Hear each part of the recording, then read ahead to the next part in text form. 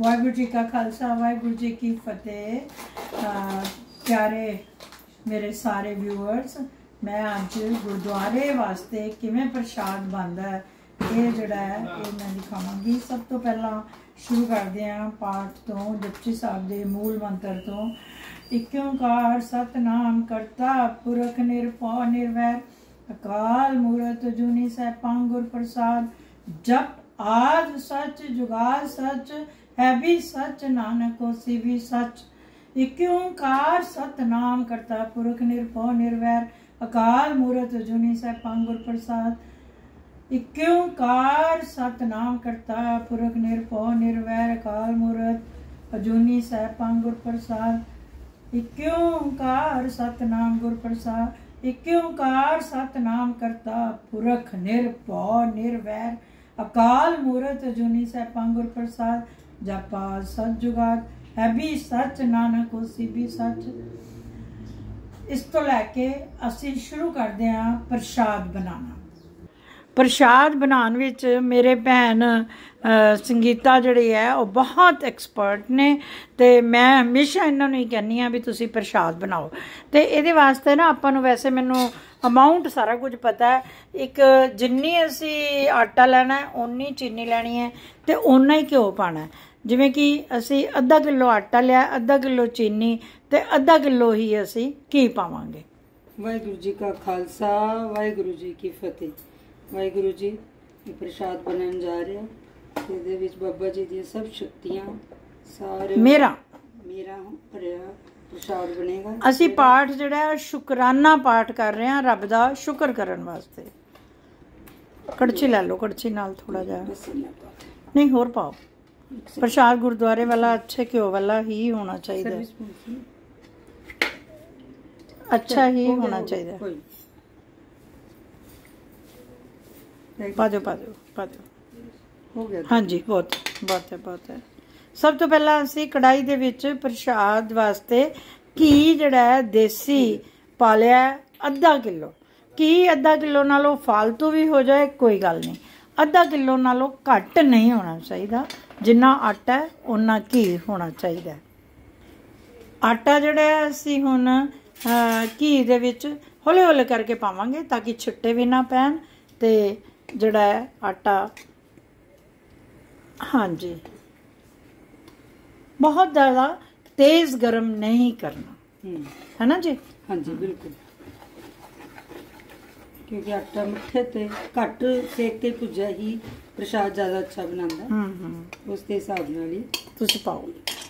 ਲਓ ਜੀ। ਅਸੀਂ ਆਟਾ ਇਹਦੇ ਵਿੱਚ ਪਾਤਾ ਹੈ ਘੀ ਇਹਦੇ ਵਿੱਚ ਆਲਰੇਡੀ ਹੈ ਔਰ ਮੇਰੇ ਹਿਸਾਬ ਨਾਲ ਬਿਲਕੁਲ ਪਰਫੈਕਟ ਹੈਗਾ ਵੇ। ਹਾਂਜੀ ਬਿਲਕੁਲ। ਗੁਰਦੁਆਰੇ ਦੇ ਜਿਹੜਾ ਪ੍ਰਸ਼ਾਦ ਹੈ ਉਹਦੇ ਵਿੱਚ ਵੈਸੇ ਘੀ ਬਹੁਤ ਜ਼ਿਆਦਾ ਹੁੰਦਾ ਹੈ। ਪਰ ਚਲੋ ਮਤਲਬ ਵੀ ਅਸੀਂ ਵੀ ਘੀ ਕਾਫੀ ਪਾਇਆ ਜੇ ਘੱਟ ਲੱਗਿਆ ਤੇ ਪਾ ਵੀ ਸਕਦੇ ਹੋ। ਹਾਂ ਬਟ ਠੀਕ ਹੈ ਜਿੰਨੇ ਚ ਵਧੀਆ ਭੁੱਜੇਗਾ ਤੇ ਅਸੀਂ ਇਹਨੂੰ ਭੁੰਨਦੇ ਆ ਕਦੀ ਵਿੱਚੋਂ ਤੇਜ਼ ਤੇ ਕਦੀ ਘੱਟ। ਸੇਕ ਤੇ ਵਾਹਿਗੁਰੂ ਜੀ ਕਾ ਖਾਲਸਾ ਵਾਹਿਗੁਰੂ ਜੀ ਕੀ ਫਤਿਹ। ਹਾਂਜੀ ਇਹ ਅਸੀਂ ਇਦਾਂ ਹੀ ਪ੍ਰਸ਼ਾਦ ਨੂੰ ਉਦੋਂ ਤੱਕ ਭੁੰਨਾਂਗੇ ਜਦ ਤੱਕ ਇਹਦੇ ਵਿੱਚੋਂ ਅੱਛੀ ਵਾਲੀ ਖੁਸ਼ਬੂਆਂ ਨਹੀਂ ਆ ਜਾਂਦੀਆਂ। ਇਧਰੋਂ ਮੈਂ ਤੁਹਾਨੂੰ ਦਿਖਾਣਾ ਚਾਹਾਂਗੀ ਇਹ ਜਿਹੜੀਆਂ ਤਿੰਨ ਆਪਾਂ ਇਹਦੇ ਨਾਲ ਹੀ ਨਾਪ ਕੀਤਾ। ਇਹ ਇੱਕ ਕਟੋਰੀ ਆਟੇ ਦੀ ਇੱਕ ਕਟੋਰੀ ਚੀਨੀ ਦੀ ਤਿੰਨ ਜਿਹੜੇ ਕਟੋਰੀਆਂ ਇਹ ਵਾਲੀਆਂ ਨੇ ਇਹ ਮੈਂ ਪਾਣੀ ਦੀਆਂ। ਗਰਮ ਕਰ ਲਈਆਂ ਨੇ ਜਿਹੜਾ ਅਸੀਂ ਬਾਅਦ ਵਿੱਚ ਇਹਦੇ ਵਿੱਚ ਪਾਵਾਂਗੇ। ਚਾਹੋ ਤਾਂ ਚੀਨੀ ਵੀ ਇਹਦੇ ਵਿੱਚ ਪਾ ਸਕਦੇ ਹੋ। ਪਾਓਗੇ? ਨਹੀਂ ਮੈਂ ਇਹਦੇ ਚ ਪਹਿਲੇ ਪਾ ਲੈਣੀ ਆ ਚੀਨੀ ਤਾਂ ਵੀ ਇੱਕੋ ਗੱਲ। ਹੈ। ਅਸੀਂ ਚੀਨੀ ਬਾਅਦ ਵਿੱਚ ਪਾ ਲਾਂ ਕਿਉਂਕਿ ਪਾਣੀ ਮਾੜਾ ਮੋਟਾ ਕਈ ਵਾਰੀ ਘੱਟ ਵੱਧ ਵੀ ਪਾਣਾ ਪੈ ਜਾਂਦਾ ਇਸ ਨੂੰ ਅਸੀਂ ਦੇਖੋ ਹਿਲਾਈ ਜਾ ਰਹੇ ਹਾਂ ਭੁੰਨੀ ਜਾ ਰਹੇ ਹਾਂ ਔਰ ਇਸ ਨੂੰ ਲਗਾਤਾਰ ਪ੍ਰਸ਼ਾਦ ਨੂੰ ਆਹਿਸਤਾ ਤੇ ਫਿਰ ਤੇਜ਼ ਆਹਿਸਤਾ ਤੇਜ਼ ਮੀਡੀਅਮ ਤੇ ਇਸ ਨੂੰ ਭੁੰਨਣਾ ਜਿਹੜਾ ਜਿੰਨਾ ਜ਼ਿਆਦਾ ਅੱਛੇ ਵਾਲਾ ਅਸਤਾ ਅਸਤਾ ਮੱਠੀ ਮੱਠੀ ਅੱਗ ਤੇ ਭੁੱਜਿਆ ਹੋਇਆ ਪ੍ਰਸ਼ਾਦ ਜਿਹੜਾ ਉਹ ਸਭ ਤੋਂ ਸਵੈਸਤਾ ਗੁਰਦੁਆਰੇ ਦਾ ਪ੍ਰਸ਼ਾਦ ਬਹੁਤ ਵੈਸੇ ਹੀ ਟੇਸਟੀ ਹੁੰਦਾ। ਪਰ ਫਿਰ ਵੀ ਇਸ ਨੂੰ ਜਿਹੜਾ ਕਿਉਂ ਭੈਣ ਜੀ ਹਾਂਜੀ ਇਹਦੇ ਵਿੱਚ ਬਸ ਦੋ ਹੀ ਤਰੀਕੇ ਇੱਕ ਤੇ ਖੁਸ਼ਬੂ ਆਏਗੀ ਇੱਕ ਇਹ ਘੀ ਛੱਡ ਜਾਏਗਾ ਇਹਦਾ ਦੇਖੋ ਹੁਣ ਜਿਵੇਂ। ਥੋੜਾ ਥੋੜਾ ਇਹ ਕੀ ਛੱਡਣਾ ਸ਼ੁਰੂ ਹੋ ਗਿਆ ਪਰ ਅਜੇ ਇਸ ਨੂੰ ਭੁੱਜਣ ਨੂੰ ਘੱਟੋ ਘੱਟ ਨਹੀਂ ਤਾਂ 10 ਮਿੰਟ ਹੋਰ ਲੱਗ ਜਾਣਗੇ ਹਾਂਜੀ ਵਾਹਿਗੁਰੂ ਵਾਹਿਗੁਰੂ ਵਾਹਿਗੁਰੂ ਵਾਹਿਗੁਰੂ ਵਾਹਿਗੁਰੂ ਵਾਹਿਗੁਰੂ ਵਾਹਿਗੁਰੂ ਵਾਹਿਗੁਰੂ ਵਾਹਿਗੁਰੂ ਪ੍ਰਸ਼ਾਦ ਨੂੰ ਪੂਰੇ ਪਿਆਰ ਤੇ ਸਤਕਾਰ ਨਾਲ ਬਣਾਇਆ ਜਾਵੇ। ਪ੍ਰਸ਼ਾਦ ਤਾਂ ਗੁਰੂ ਜੀ ਦਾ ਵੈਸੇ ਹੀ ਅਸ਼ੀਰਵਾਦ ਹੈ ਤੇ ਇਸ ਨੂੰ ਆਇਸਤਾ ਅੱਗ ਤੇ ਜਿੰਨੀ ਸਲੋ ਤੇ ਬਣਾਇਆ ਜਾਵੇ ਉਹਨਾਂ ਸਵਾਦ ਜ਼ਿਆਦਾ। ਇਹ ਜੀ ਮੀਡੀਅਮ ਤੇ ਜੇਕਰ ਆਪਾਂ ਪੂਰਾ ਭੁੰਨਿਆ ਤਾਂ ਬਹੁਤ ਅੱਛਾ ਰੈੱਡ ਵਾਲਾ, ਪਿੰਕ ਵਾਲਾ ਕਲਰ ਆ ਗਿਆ ਵੇ। ਜੇ ਇਸ ਨੂੰ ਤੁਸੀਂ ਤੇਜ਼ ਤੇ ਭੁੰਨੋਗੇ ਤਾਂ ਪ੍ਰਸ਼ਾਦ ਕੌੜਾ ਹੋ ਜਾਏਗਾ। ਵਾਰੀ ਲੋ ਜੀ, ਹੁਣ ਪਾਵਾਂਗੇ ਅਸੀਂ ਚੀਨੀ। ਵਾਹਿਗੁਰੂ। ਵਾਹਿਗੁਰੂ ਵਾਹਿਗੁਰੂ ਵਾਹਿਗੁਰੂ ਵਾਹਿਗੁਰੂ ਵਾਹਿਗੁਰੂ ਵਾਹਿਗੁਰੂ ਵਾਹਿਗੁਰੂ ਵਾਹਿਗੁਰੂ ਵਾਹਿਗੁਰੂ ਵਾਹਿਗੁਰੂ। ਹੁਣ ਵਾਰੀ ਆ ਗਈ ਹੈ ਪਾਣੀ ਪਾਣ ਦੀ। ਪਾਣੀ ਜਿਹੜਾ ਗਰਮ ਹੋਇਆ ਪਿਆ ਹੈ, ਚੀਨੀ ਪਾਤੀ ਹੈ ਤੇ ਹੁਣ ਨਾ ਪਾਣੀ ਨੂੰ ਬਹੁਤ ਛੁੱਟਾ ਪੈਂਦੀਆਂ ਇਸ ਕਰਕੇ। ਥੋੜਾ ਥੋੜਾ ਕਰਕੇ ਪਾਵਾਂਗੇ। ਬ- ਪਾਓ ਜੀ, ਪਾਓ, ਵਾਹ, ਬਹੁਤ ਹੀ ਅੱਛਾ, ਬਹੁਤ ਅੱਛਾ। ਇੱਕ ਵਾਰੀ ਹਿਲਾ ਲਓ, ਫਿਰ ਬਾਕੀ ਹੋਰ ਪਾਣੀ ਪਾਓ। ਹਿਲਾ ਲਓ ਇੱਕ ਵਾਰੀ ਇਹਨੂੰ। ਹਾਂਜੀ। ਤੇ ਇੱਕ ਵਾਰੀ ਅਸੀਂ ਆਇਸਤਾ ਵੀ ਕੀਤਾ ਹੋਇਆ ਇੱਕਦਮ ਤੇਜ਼ ਕਰੋਗੇ ਤਾਂ ਛਿੱਟੇ ਬਾਹਰ ਆਣਗੇ ਹੁਣ ਕੋਈ ਖਤਰਾ ਨਹੀਂ ਹੈ। ਹੁਣ ਆਪਾਂ ਪਾਣੀ ਜਿਹੜਾ ਆਰਾਮ ਨਾਲ ਸਾਰਾ ਪਾ ਸਕਦੇ ਮੈਂ ਇਹਨੂੰ ਹਿਲਾ ਰਹੀ ਹਾਂ। ਦੇਖੋ। ਦੇਖੋ ਜੀ ਦੇਖੋ ਪਾਓ ਜੀ ਪਾਓ। ਪਾਣੀ ਪਾਓ। ਪਾਣੀ ਸਾਰਾ ਪੈ ਜਾਏਗਾ।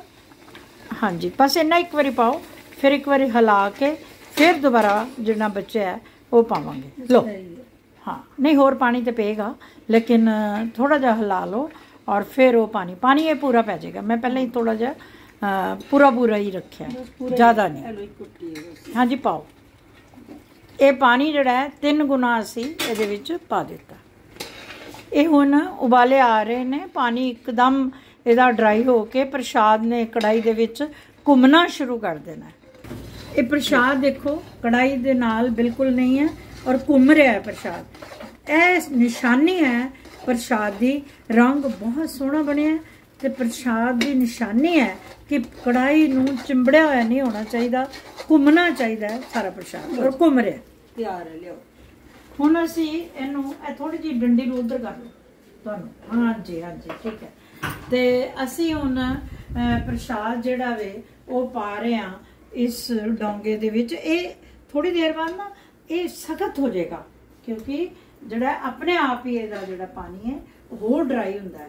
ਵੰਡਣ ਤੱਕ ਇਹ ਕਾਫੀ ਸਖਤ ਹੋ ਜਾਂਦਾ ਹੈ। ਹਾਂਜੀ ਹਾਂਜੀ ਮੈਂ ਅੱਗੇ ਕਰ ਲੈਣੀ ਆ ਤੁਸੀਂ ਦੂਜੀ ਲੈ ਲੈਣੀ ਸੀ ਕੜਛੀ। ਲਓ ਜੀ ਲਓ ਲਓ ਡਾਊਨ ਕਰਨਾ ਜਰਾ। ਲਓ। ਥੈਂਕ ਯੂ ਥੈਂਕ ਯੂ ਪਾਓ ਜੀ ਪਾਓ। ਬਹੁਤ ਹੀ ਵਾਹਿਗੁਰੂ ਵਾਹਿਗੁਰੂ ਜੀ ਵਾਹਿਗੁਰੂ ਜੀ। ਸਭ ਦਾ ਭਲਾ ਕਰੀ ਵਾਹਿਗੁਰੂ ਸਭ ਦਾ ਭਲਾ ਕਰੀ।